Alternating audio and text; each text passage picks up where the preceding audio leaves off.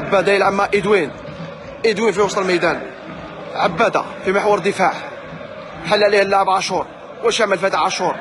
إلى ما جوبا اكيب كاش وضع يتسلل راح اللاعب إبرة. يلا إبرة. يتوغل إبرة. هدف أول. هدف أول. هدف أول للجمعية.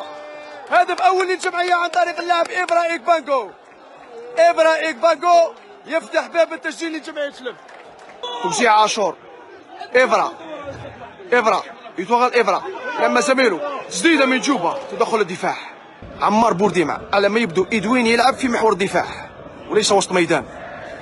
عاشور واش يعمل يلعب زميله جوبا عقيب تسترجع من الدفاع. عاشور. كرة لقائد الفريق. يسترجعها جوبا. إدوين. لما ما إدوين الآن. جوبا عقيب لما عاشور. عاشور واش عمل جوبا عقيب واش عمل جوبا؟ عمار بورديم ياسين عليان. دخل الدفاع. أما اللاعب كرة طويلة. جوبا عليان. سديد على طائر. مازالت كرة لجوبا. يلا يا جوبا. تغطية من اللاعب نبي سعدو واش عمل عمار بورديم؟ يلعب مع اللاعب جوبا اكيب في وسط الميدان. بعيدة وتدخل الدفاع. جوبا اكيب يلا يا جوبا.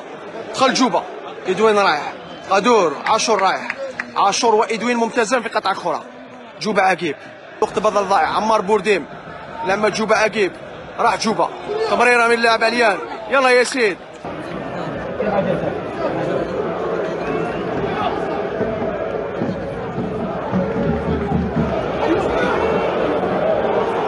الهدف الثالث الهدف الثالث. ضاع بداية الشوط الثاني.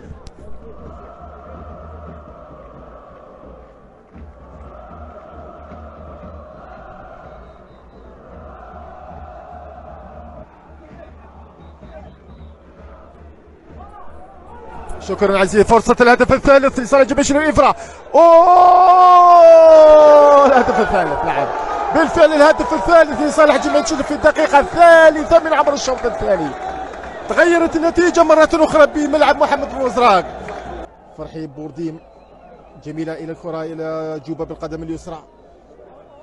انطلاقا من جوبا على مشارف خطأ العمليات يسقط الحكم يقول لعب ما فيش خطأ. هازج أنصار جمعية الشلف. خاصة ما شاهدنا شاهدناه منذ قليل من عليان أمام الشباك فارغة كان بإمكانه إفريقية الكرة لصالح جميع الشلف عن طريق جوبا. يجب الحفاظ على الكرة لأطول وقت ممكن. حتى ثلاث أهداف نعم دائما أمام ثلاث أهداف لهدف أمام اتحاد خشلة. جوبا كونتر شباب روعة في هذه يبدع جوبا. وأمام تجاوب أنصار تمريرة جميلة.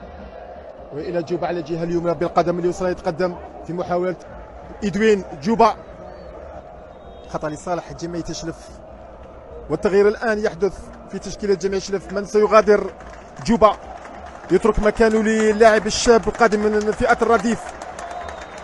اللاعب بشوية يأخذ مكانه في مكان زميله جوبا ليخرج تحت تصفيقات الجماهير الشلفيه بعد الدور. الكبير اللي قام به في هذه المباراة. ويتلقى أيضا تحية من